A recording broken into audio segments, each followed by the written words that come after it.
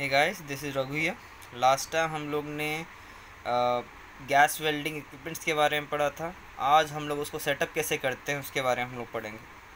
Basically आज हम लोग ऑक्सी एसिटिलीन वेल्डिंग के इक्विपमेंट्स को सेटअप कैसे किया जाता है उसके बारे में हम लोग आज पढ़ेंगे। जब भी आप गैस वेल्डिंग इक्विपमेंट्स को सेटअप करें तो सर्टन सिस्टमैटिक ऑर्डर को आप फॉलो कीजिएगा। अगर आप कॉस्टली डैमेज को अवॉइड करना चाहते हैं एंड जो पर्सनल आपके लिए जो काम कर रहे हैं उनको सेफ़ रखना चाहते हो तो। गैस सिलेंडर जो होते हैं दो टाइप के हम लोग यूज़ करते हैं। गैस सिलेंडर जो एक, दो टाइप के होते हैं। एक होता है ऑक्सीजन दूसरा होता है आपका acetylene which acts as a fuel oxygen को ज़्यादा इशू नहीं होता है, लेकिन as far as acetylene cylinder is concern acetylene cylinder में जो एसिटलिन है, वो हाईली वॉलेटाइल है एंड अनस्टेबल रहता है। इसलिए उसको स्टेबल करने के लिए हम लोग एसीटोन के अंदर जो है उसको सैचुरेट करके रखते हैं। लेकिन जब उसको आप अपराइट ना रखते हुए अगर आप उसको लेटाओगे तो ये देखा गया है कि एसीटोन जो है रेगुलेटर में हो उसमें टॉर्च में जाके वो एरिया को कंटामिनेट करता है which will lead to a flash back in future flash back हो सकता है फ्यूचर में। तो उसको अगर आप अवॉइड करना चाहते हैं तो उसको अपराइट में ही रखिएगा। अगर सिचुएशन ऐसा डिमांड करता है कि you can not keep it in upright position आप एक काम कर सकते हैं, जब यूज़ ना हो, आप उसको लिटा दीजिएगा। लेकिन जब आप यूज़ करने वाले हैं, उसके ट्वाइस द टाइम जितना देर के लिए आपने उसको लिटाया है, उतनी देर के लिए आप उसको स्ट्रेट रखने के बाद आप उसको यूज़ कर सकते हैं। स्पेशली जब उसको आप लोकेश एक जगह से दूसरी जगह लेके जाते हैं एंड उसको आप लेटा के ही लेके जाना पड़ेगा। ऐसा कोई सिचुएशन आता है तो वैसे केस में आप एक दो घंटा आपने उसको लिटा दिया तो आप जब उसको वापस यूज़ करोगे तो एक घंटा तो दो घंटे तक आप स्ट्रेट रखना। अगर आप दो घंटे के लिए आप लिटा रहे हो तो फोर आवर्स के लिए आप उसको अपराइट रखोगे and then you will be using it जब भी आप इसे यूज़ करते हो तो आप ये सबको थोड़ा सा ध्यान रखना। Place it in a secure place and it should be change man ऐसे secure place you can keep it permanent basis में एक जगह में रख दी, कोई भी एक जगह चुनिएगा, एक परमानेंट जगह में उधर रखिएगा। बार बार उसको आप मूव मत कीजिएगा। अगर मूव करना चाहते हैं दे इज़ अनदर ऑप्शन आप मोबाइल कार्ट में रख सकते हैं। मोबाइल कार्ड्स आते हैं, उसके ऊपर आप चेन कीजिएगा। Move the mobile card instead of this cylinder it cylinder को बार बार टच करने के बदले आप मोबाइल कार्ड से एक जगह से दूसरी जगह आप सिलेंडर को लेकर जा सकते हैं। अगर और एक चीज़ तुम लोग को याद रखना है कि जब भी आप सिलेंडर्स को यूज़ नहीं कर रहे हो, सर्विस में नहीं है सिलेंडर, इन दैट केस उसके ऊपर जो प्रोटेक्टिव कैप जो रहता है, उसको आप रिमूव मत करना। तो कुछ पॉइंट्स तुम लोग को याद रखने हैं, ये सब आपको याद रखना पड़ेगा। नेक्स्ट आता है रेगुलेटर। सिलेंडर के ऊपर जो प्रेशर रेगुलेटर लगता है प्रेशर रेगुलेटर जो रहता है, वो टिपिकल प्रेशर को रेगुलेट करने के लिए यूज़ करते हैं। लास्ट चैप्टर में हमने पढ़ा भी था, दो टाइप के होते हैं। Single and double pressure regulator करके एक होते हैं। तो जब भी आप उसको, आप सिलेंडर के साथ अटैच करते हो तो they should you should follow certain order precaution and procedure तो जब भी आप लगाने वाले हैं तो सबसे पहले आप वाल्व्स को ओपन कीजिएगा। सबसे पहले शट ऑफ़ वाल्व जो रहता है, उसको सबसे पहले ओपन करोगे। एंड जैसे ही ओपन करोगे, जो फॉरेन मैटर जो मटेरियल जो सिलेंडर के आउटलेट के उधर है, वो तुरंत ब्लो आउट हो जाएँगे। उसके बाद तुरंत आप उसको बंद करना पड़ेगा आपको। एंड कनेक्शन को वाइप कीजिएगा। उसके आसपास जो कनेक्शन जहाँ पे आप प्रेशर रेगुलेटर लगता है, उसको आप ऑयल फ्री क्लॉथ से आप उसको वाइप कीजिएगा। नेक्स्ट आता है आप दो रेगुलेटर रहते हैं, एक लगेगा एसिटलीन सिलेंडर को, दूसरा लगेगा ऑक्सीजन सिलेंडर को। आपके पास जो प्रेशर रेगुलेटर है, जिसके ऊपर लेफ़्ट हैंड नट है, वो जाके सिलेंडर एसिटलिन सिलेंडर को लगेगा एंड जो रेगुलेटर के ऊपर राइट हैंड नट है राइट हैंड स्क्रू नट है, वो जाके आपके ऑक्सीजन सिलेंडर में लगेगा। ये तुम लोगों को थोड़ा ध्यान देना है। लेफ़्ट हैंड वाला नट जो रहता है कि ऑक्सीजन एसिटली सिलेंडर में लगेगा। एंड जो रेगुलेटर में जो है राइट हैंड नट है, वो जाके ऑक्सीजन सिलेंडर में लगेगा। तो उसको कनेक्ट कीजिएगा उसको। सबसे पहले दोनों को कॉन्सिक्यूटिवली आप अपने अपने जगह में कनेक्ट कीजिएगा। उसके बाद जो इंडिविजुअल नट्स है सिटली सिलेंडर में जो लगाने के बाद आप लेफ़्ट हैंड नट को टाइटन कीजिए। एंड ऑक्सीजन सिलेंडर में भी, आप रेगुलेटर को प्लेस करने के बाद राइट हैंड नट को आप टाइटन कीजिएगा। एंड ये याद रखना कि जो नट्स जो होते हैं, वो ब्रास के बने हुए रहते हैं तो उसको ज़्यादा टॉक की ज़रूरत नहीं रहती है। आप उसको अगर आप थोड़ा सा नॉर्मल लोड भी दे के टॉक दे के भी अगर टाइटन करते हो, वो आप लीक से बचा सकते हैं आप। ज़्यादा लीक नहीं होगा लीक नहीं होगा। नेक्स्ट आता है आपको प्रेशर को थोड़ा सा रेगुलेट करने के लिए आप स्क्रूज़ को थोड़ा एडजस्ट कीजिएगा। काउंटर क्लॉकवाइज में आप फ्रीली मूव होता है, वो उसको भी एक बार चेक कीजिएगा। नेक्स्ट आता है होस होस जो रहता है रेगुलेटर को लगता है। रेड कलर का होस जो रहता है लेफ़्ट हैंड थ्रेड वाले रेगुलेटर को लगेगा which is pressure regulator for acetylene pressure regulator acetylene का प्रेशर रेगुलेटर को रेड कलर का होस लगेगा एंड ऑक्सीजन प्रेशर रेगुलेटर को ग्रीन कलर का होस लगेगा। ये तुम लोग को थोड़ा याद रखना है। रेड कलर का होस जो होता है एसिक्लिन प्रेशर रेगुलेटर का लगेगा एंड ग्रीन कलर का होस जो होता है ऑक्सीजन प्रेशर रेगुलेटर का लगेगा।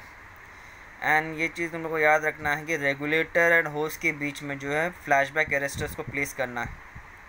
रेगुलेटर और होस के बीच में फ्लैशबैक अरेस्टर रहेगा। एंड जो ये फिटिंग जहाँ पे होस और होस अटैच होते हैं, वो टिपिकली ब्रास का बनता है। एंड वो इजीली डैमेज हो सकता है ज़्यादा टाइटन मत कीजिएगा। नेक्स्ट आता है, आपको और एक चीज़ तुम लोग याद रखना है कि आप ईज़िली साइड ऑफ़ होने लायक होना चाहिए। नेक्स्ट आता है, जब भी आप होस प्लेस करते हो। प्लेस होस को प्लेस करने के बाद आपको एक बार सिलेंडर गेज प्रेशर आपको चेक करना पड़ेगा। स्लोली आप ऑक्सीजन सिलेंडर वेल्व को ओपन कीजिए। और आप ऑक्सीजन सिलेंडर वेल को ओपन करने के बाद आप प्रेशर सिलेंडर का गेज प्रेशर आप चेक करोगे। एंड उसके बाद आप ऑक्सीजन के केस में आप डबल सीट वेल्व रहते हैं। डबल सील वेल्व लेगा एंड उसको आप फुल्ली ओपन करोगे एज वेर एज एसिटलिन के केस में आप स्लोली uh, ओपन करना है बट पार्शियली ओपन करोगे आप। स्लोली ओपन दोनों केस में आप स्लोली ओपन करोगे बट एसिटलिन के केस में पार्शियली ओपन करके एक बार चेक करना है प्रेशर ठीक से रीडिंग दिखा रहा है कि नहीं। एंड सिमिलरली आप सिमिलरली आप ऑक्सीजन के गैस में भी आप फुल ओपन करके चेक करोगे कि ठीक से वो रीडिंग दिखा रहा है कि नहीं। एंड ये देखना है कि बीच में कोई लीकेज है क्या, वो सब भी आपको बीच में चेक करना पड़ेगा। होस अप्लाई कर होस लगाने के बाद प्रेशर को एक बार चेक कीजिएगा that's what I am trying to say and whenever you are एक बार अप्लाई करने के बाद सी टू दैट कि 20 पी एस आपका जो सिलेंडर प्रेशर जो है ज़्यादा डिप्लीट नहीं होना चाहिए ये तुम लोग को याद रखना है। 20 पी एस आई के नीचे ना जाए तो अच्छी बात है। नेक्स्ट आता है जब भी आप आ, uh, अगर 20 पी एस आई के नीचे होगा तो ये देखा गया है कि रिवर्स में फ़्लो होना शुरू करता है। तो रिवर्स में ना फ्लो हो, इसके लिए आपको ये थोड़ा ध्यान देना है कि रिवर्स फ्लो ना होने के लिए आपको twenty P S P twenty P S I का प्रेशर जो है, आप उसको मेंटेन या उसके ऊपर ही रखना। वेल वेंटिलेटेड एरिया में ये सब ऑपरेशन करना है एंड स्पार्क फ्री एरिया में भी आप उसको रखना पड़ेगा आपको। आसपास कोई चिंगारी या वेल्डिंग अलग से कोई दूसरा जगह में कोई वेल्डिंग ऐसा नहीं होना चाहिए। ऐसे जगह में ही आप वेल्डिंग कर सकते हैं।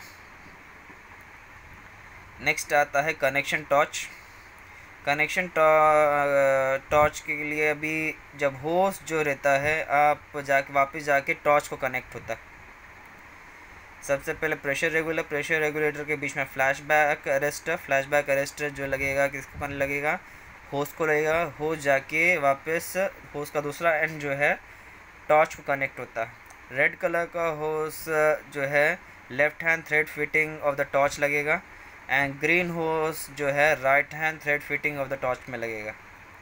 तो आप टॉर्च के ऊपर जो थ्रेड्स है, उसको आप ऑब्ज़र्व करके ही आप कौन सी जगह में क्या लगाना है, कौन सा होस लगाना है, आप उसको ऑब्ज़र्व करके ही आप आगे कदम बढ़ाना। एंड जब भी आप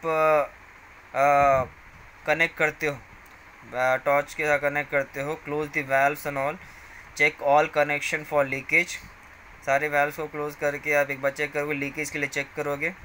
एंड ये याद रखना कि ऑक्सीजन प्रेशर रेगुलेटर जो है, आप उसका वर्किंग प्रेशर जो रहता है टेन पी एस आई के आसपास होना चाहिए. एंड एक बार लगा के देखिएगा and working pressure of the acetylene should be five P ये करके आप ये वेरीफाई कीजिएगा प्रेशर जो है आप स्टडी है क्या फ्लक्चुएट हो रहा है? ये प्रेशर आपको आप ऑपरेट करके एक स्टैंडर्ड है ये। टेन पी एस आई के प्रेशर में आप ऑक्सीजन को चेक करोगे, वर्किंग प्रेशर, एसिटलिन का वर्किंग प्रेशर को फाइव पी एस आई रख के आप एसिटलिन से प्रेशर रेगुलेटर को चेक करोगे। एंड ये करते करने के बाद आप, ये देखोगे कि वर्किंग प्रेशर जो है स्टडी है कि नहीं। अगर फ्लक्चुएट हो रहा है मतलब कहीं ना कहीं आपको लीकेज होने का चांस है।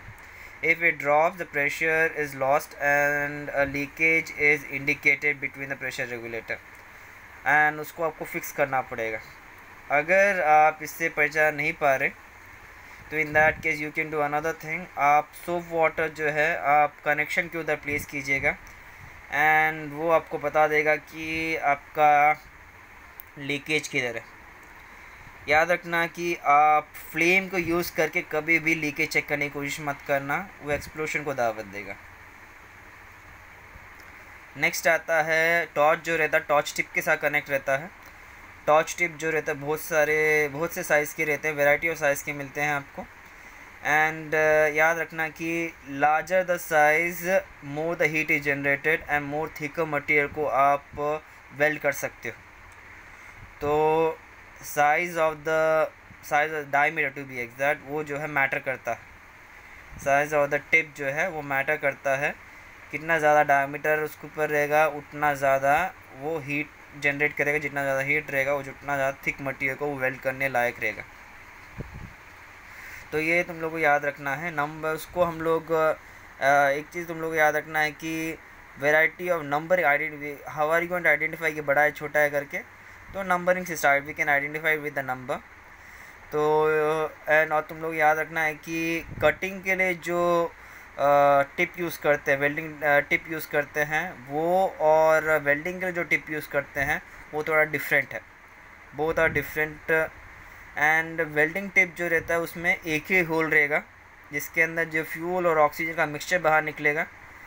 And as far as cutting tip के केस में है कटिंग टिप के केस में जो रहता है, उसमें एक नंबर ऑफ़ होल्स रहेगा।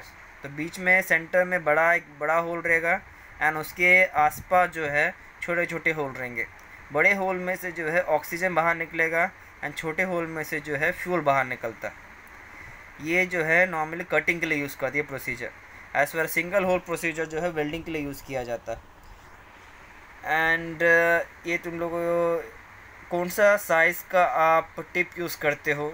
वो जो है आप, कौन सा मटी, कौन सा थिक कौन सा प्रोसीजर आप अपना रहे हैं, वो सब डिपेंड करता है। कौन से कितने थिक मटीरियल को आप अपना रहे हो एंड कौन सा फ्यूल है, वो सब मैटर करता। एंड ये तुम लोगों को याद रखना है कि टिप का साइज़ जो है बहुत ज़्यादा इम्पोर्टेंट है। ऐसा नहीं होना चाहिए कि टिप का साइज़ अपने ज़्यादा यूज़ किया जो गैस का वॉल्यूम जो है वो कम आ रहा है। ये सब होने की वजह से हो सकता है कि टिप जो ओवर हीट हो जाएगा फ्लैश बैक होगा।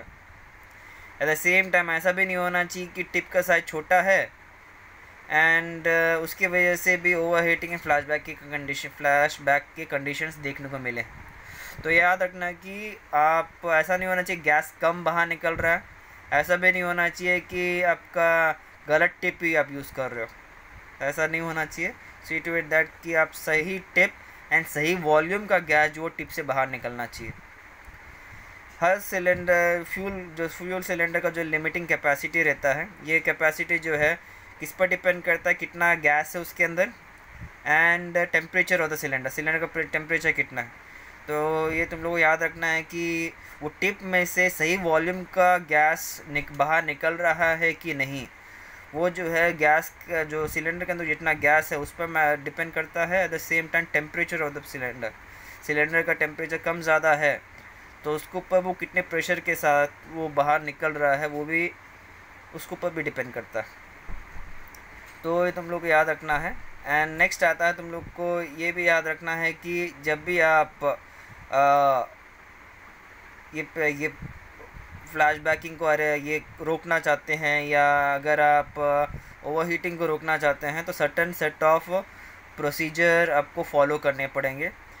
तो याद रखना कि टिप का साइज़ जो रहता है मैनुफैक्चर रिकमेंडेड रहता है, वही टिप का साइज़ अगर सर्टन थिक ये इतना थिक मटीरियल है, ये वाला मटीरियल सर्टन टाइप का मटीरियल है, उसके लिए सर्टन डायमीटर का सर्टन नंबर का वेल्डिंग टिप जो है रिकमेंड मैन्युफैक्चर रिकमेंड करता है, वही मैंने वेल्डिंग टिप जो है आप इसे यूज़ करोगे। नेक्स्ट आता है गैस प्रेशर कितना यूज़ करना है, वो भी रिकमेंडेड गैस प्रेशर ही यूज़ करना है। Correct volume of gas is recommended at the same time ऐसा नहीं होना चाहिए कि होज जो है बहुत बहुत बड़ा है, लंबा है। तो ये देखा गया है कि कितना ज़्यादा लंबा रहेगा प्रेशर ड्रॉप होगा। एट द सेम ऐसा भी नहीं होना कि बहुत छोटा होज है। डायमीटर भी बहुत पतला नहीं होना चाहिए। उसका डायमीटर जो पतला नहीं होना चाहिए, ऐसे उसकी वजह से प्रेशर बिल्डअप होगा। तो ये तुम लोगों को थोड़ा सा ध्यान देना है। ना ज़्यादा बड़ा होज ना ज़्यादा छोटा hose at the same time ऐसा भी नहीं होना चाहिए कि ना डायमीटर बहुत छोटा भी नहीं होना चाहिए। और एक चीज़ तुम लोगों को मैंने बताया था कि करेक्ट वॉल्यूम का गैस बाहर निकलना चाहिए। करेक्ट साइज़ का टिप यूज़ करना चाहिए। ये सब सही प्रेशर सेटिंग जो रेगुलेटर का सेटिंग जो है, आप उसको रिकमेंडेड सेटिंग में ही आपको उसको डालिएगा। एंड uh, ये देखा गया है प्रेशर ड्रॉप आप कैसे पता करोगे? ये देखा गया है कि एसिटलिन के केस में अगर आप 330 क्यूबिक फीट का अगर आप सिलेंडर uh, आप लेते हैं तो एक घंटे में जो है forty seven cubic feet consume होगा। तो how we going to determine कि वेदर कितना फ्यूल कंज्यूम होने वाला है। तो ये डिपेंड करता है you can divide it with by seven seven से आप डिवाइड करोगे तो आपको एक घंटे में कितना सिलेंडर ये फ्यूल कंज्यूम होगा, उसका अप्रॉक्सीमेट अंदाज़ा आपको मिल सकता। है ये comes end of the topic बाकी का टॉपिक जो है, हम लोग कल पढ़ेंगे।